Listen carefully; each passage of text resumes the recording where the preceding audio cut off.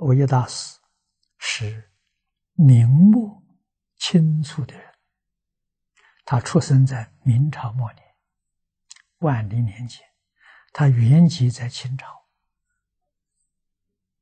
啊，是我们净土宗第九代的祖师，啊，第八代是莲池大师，啊，那我们。在他著述里面看到，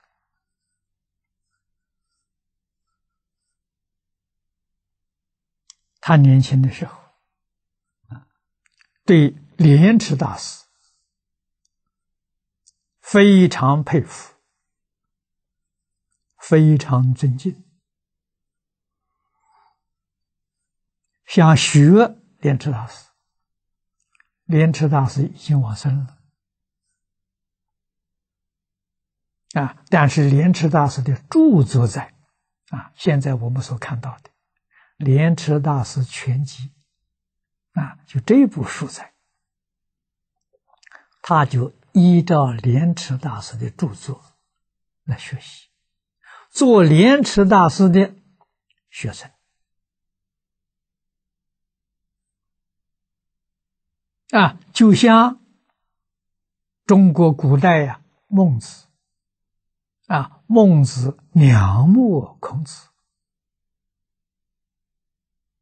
啊，想学孔子，孔子已经不在世了，啊，孔子的著作在，啊，他拿到孔子的著作自己学习，有不懂的地方就问孔子的学生，他真学成功了，这叫私塾弟子。啊，他学的非常好。你看，中国讲孔孟，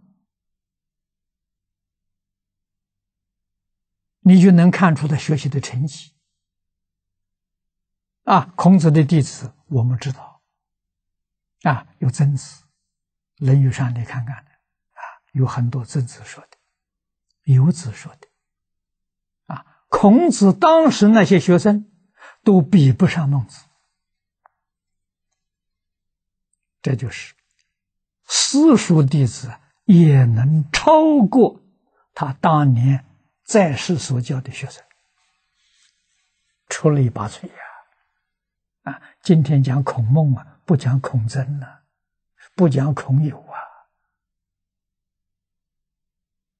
成功了。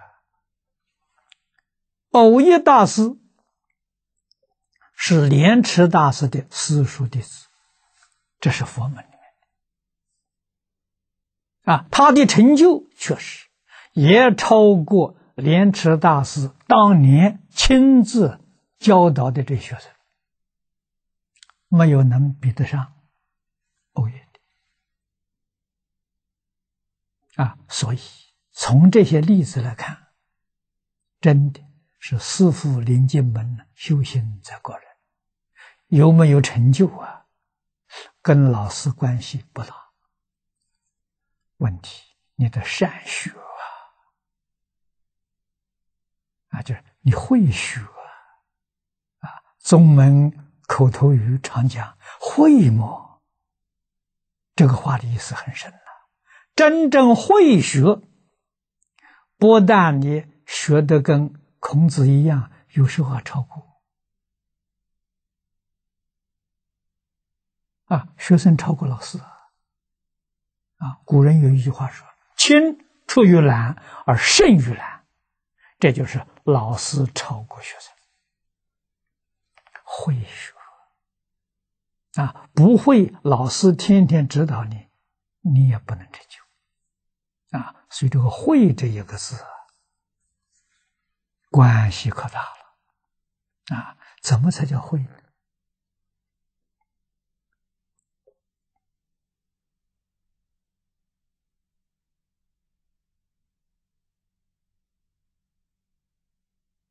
啊，真正会，实在讲呢，六个字就包括了：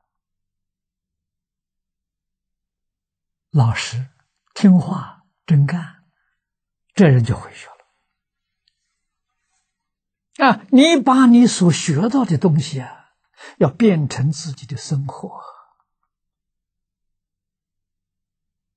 啊，你学说讲五伦讲关系，你明白了。啊，上下尊卑，你知道了。对长上要尊敬，对晚辈要爱护，你都能做到啊。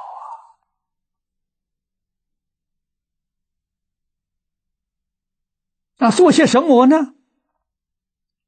十二个字，把中国所有的德行啊，五伦、四维、八德，总结合起来十二个字。孝悌忠信、礼义廉耻、仁爱和平，这十二个字完全表现在你生活里头、工作里头、处事在人接物里头，你就会了。啊，你学圣，你就是圣人；你学贤，就是贤人。啊，绝不亚于古圣先贤。啊。也有可能你会超越。你学佛，你能成佛；你学菩萨，你能成菩萨。